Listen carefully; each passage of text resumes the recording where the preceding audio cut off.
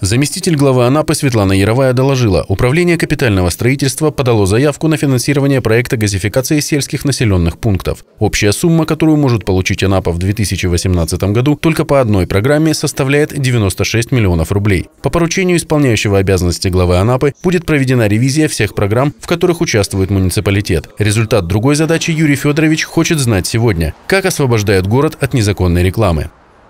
Составлено 12 протоколов, демонтировано 53 рекламных конструкции. Отчет я подписала, сейчас вам принесу, представят фотографиями, да. Изъяты штендеры и каркасы 84 штуки. И предварительные предписания 44 выписано до конца недели с тем, что будете монтаж. Еще одна острая тема – возвращение в муниципальную собственность помещений, в которых когда-то располагались различные службы. Например, управление ЖКХ нуждается в таком, а не в арендуемых площадях.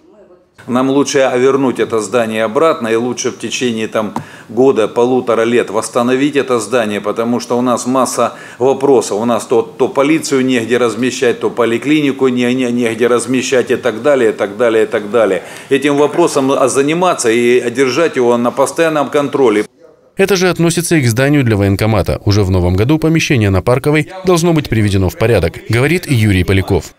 Жилищно-коммунальное хозяйство города-курорта – масштабная по задачам отрасль. Анжелика Бузунова докладывает, по 100 кубометров щебня получит каждый сельский округ на отсыпку дорог. Параллельно стартовал ремонт по муниципальной программе. 36 миллионов рублей направит муниципалитет на обновление дорожного полотна. И вот здесь у Юрия Полякова возник вопрос, как определяют нуждающиеся в ремонте улицы. В пример Юрий Федорович привел станицу Благовещенскую.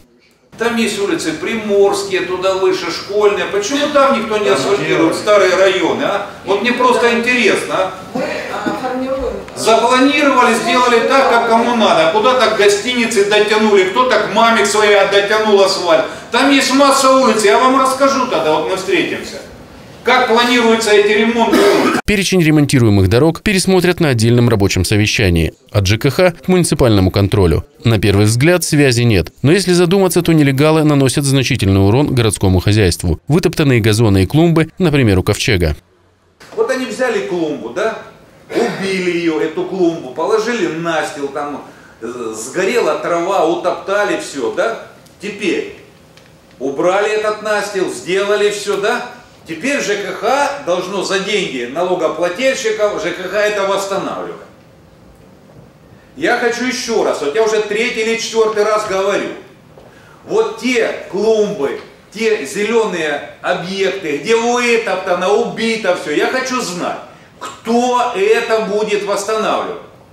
Судебное это будет решение или добровольное, городу не важно, но восстановить должен не бюджет, а нарушитель, обозначил задачу исполняющий обязанности главы Анапы. Суть планерного совещания не в отчетах заместителей дает понять и Юрий Поляков, а в обсуждении жизни города, его проблем и поиске совместных межведомственных решений.